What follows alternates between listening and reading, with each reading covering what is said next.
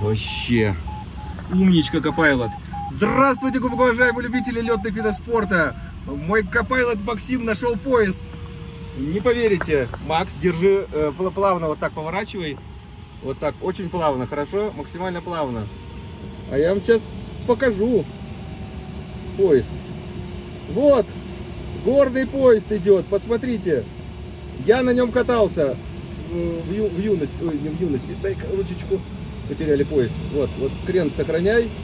Чух-чух-чух-чух-чух, я пока за ручки. Вот, друзья, потихонечку тарахтит поезд э, по горной дороге. А куда идет горная дорога, я вам сейчас тоже покажу. Вот, крыло показывает верхушку этой дороги. Если мы поток не потеряем, мы дождемся, пока поезд дотарахтит до этой дороги, до этого туннеля. И я, собственно, хотел что показать. Когда-то давным-давно, когда я был юн и летал на параплане, я первый раз попав во Францию, конечно, забрал все экскурсии, которые только мог у Монблана. Ну, понятно, что мы были на, вон она, Игюль де Миди, крыло показывает смотровая площадка, ну, собственно, сам Монблан рядом с вами.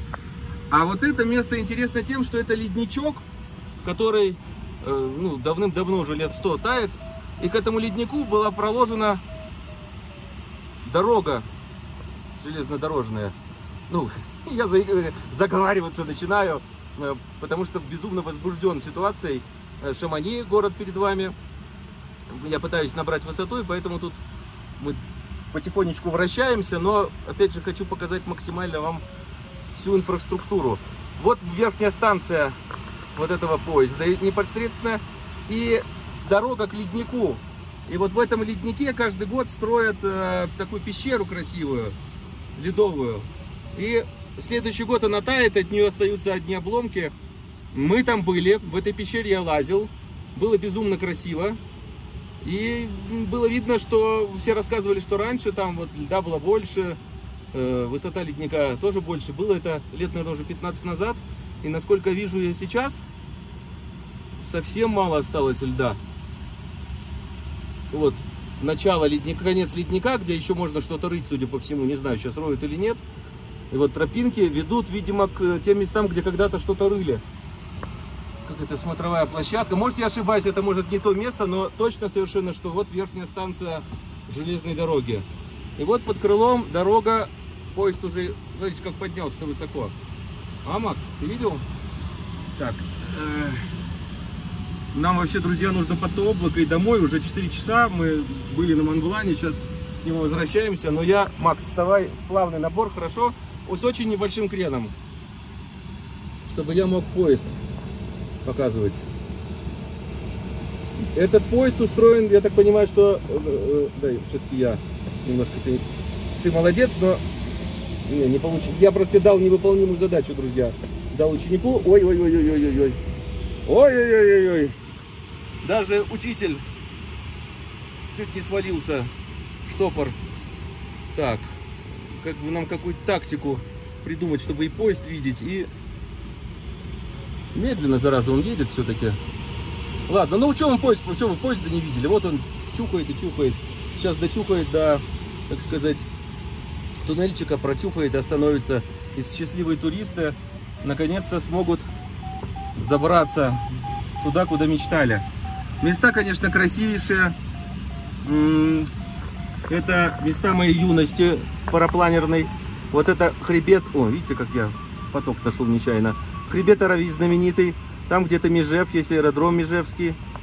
Очень красивый, опять же. Э, озеро Анси тоже мы сейчас пролетали, видели. Все это наблюдали не знаю, я никогда, наверное, не думал, что я прилечу когда-нибудь сюда, вот на планере. То есть, когда первый раз я сюда забрался, ну вот на Гюльдумиди, я вам сейчас ее покажу. Макс, возьми ручку, продолжай эта циркуляция. Вот как айфон приближает хорошо. Вы посмотрите только, вот она, Гюльдумиди. Целости и сохранности. Когда я первый раз приехал в эти горы, я даже не думал, что когда-нибудь выдастся мне шанс полетать на планере здесь. Я летал на параплане первый раз, и вообще, когда мне было там, я начал летать 20 лет, вот 23 года было, я первый раз ой, да, посмотрел фильм, э, как летают тут по этому району такой веселый француз лохматый, такой с, кучеряшками. Офигенный. Я до, до, до дыр досмотрел, засмотрел эту видеокассету с этими полетами. И моя мечта была полетать, во-первых, а в Альпах, б, пролететь над хребтом Арави. И когда в 2010 году я первый раз пролетел над хребтом Арави, я, конечно, ну, давайте я вам еще раз опять Арави покажу. Вот он, вот хребет Арави. Даже, может, благодаря нашему магии телефонной приблизим. Ну, хотя, что тут смотреть-то, собственно. А, так, Макс, ты выпал из потока. Чуть противнее к склону немножко по прямой. Главное, поезд, кстати, не проворонить. Вот, друзья, я взял ручку. Новым ракурсом зазвучала фраза «Не пропустить поезд». Давайте посмотрим, как он там, наш поезд. Что, сбежал? А, стоит на станции. Ну вот. И что ты придумал тут на станции стоять? Я же столько трендеть не смогу, чтоб ролик не скучный был.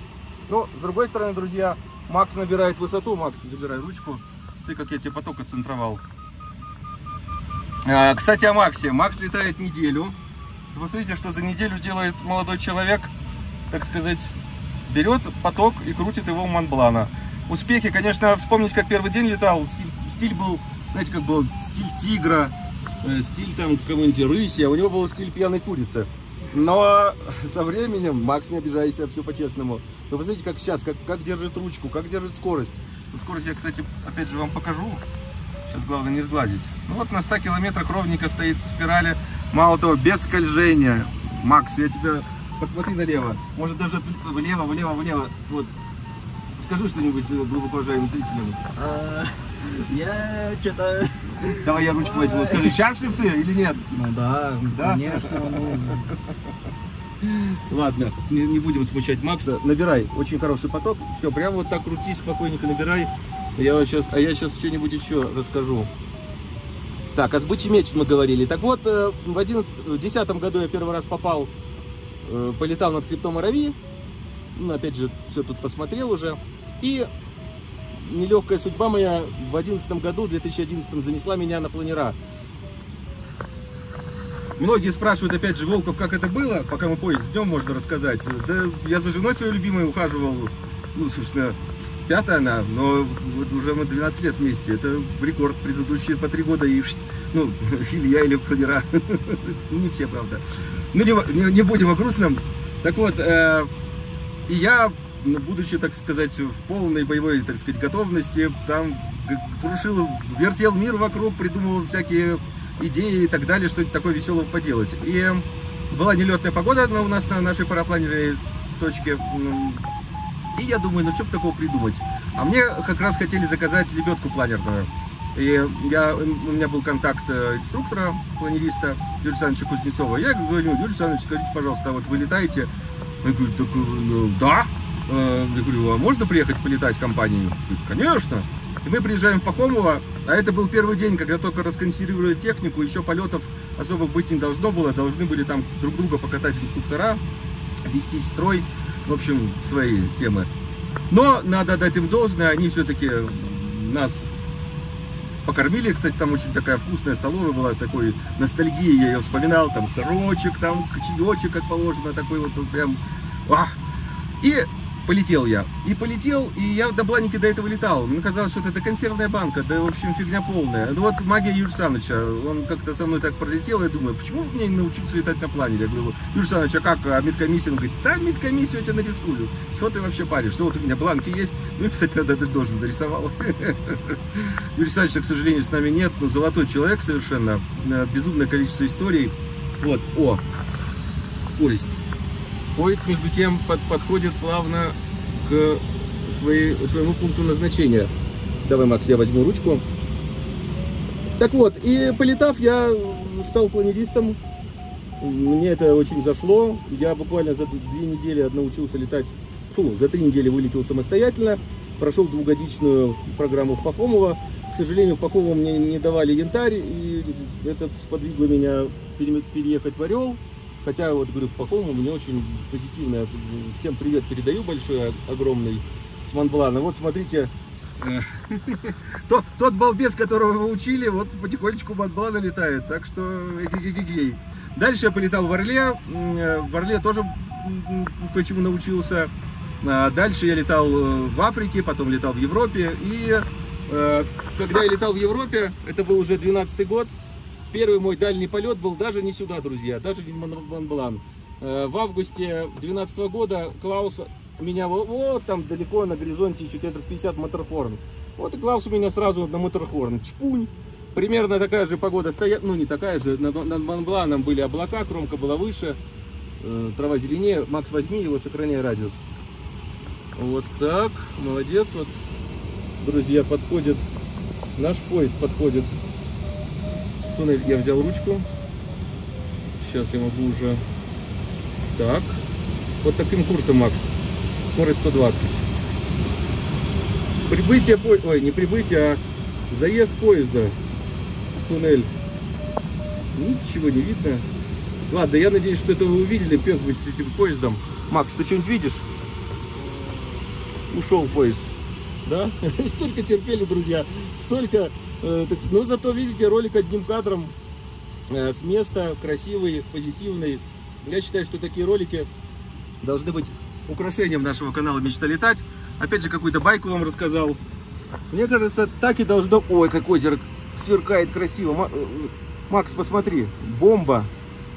Так, ну что, смотрим, запарковался ли наш поезд. Да, конечно, запарковался. Вон он в туннель, туннель, в туннель нырнул и где-то под землей остановился, наверное. Вот, на этой оптимистичной ноте, я думаю, нужно сказать Монблану до свидания. И нам вообще домой пора. Нам домой фигачить и сколько. А мы тут с поездами развлекаемся. Юху! Пикируем, Макс. И теперь коврируем. Эх, до новых встреч, глубоко уважаемые любители летных видов спорта. До новых позитивных роликов. Только не в штопор. Макс, под облако пошли большое, вот это жирное. Быстро наберем высоту и домой. Твоя ручка 150 км в час, погнали.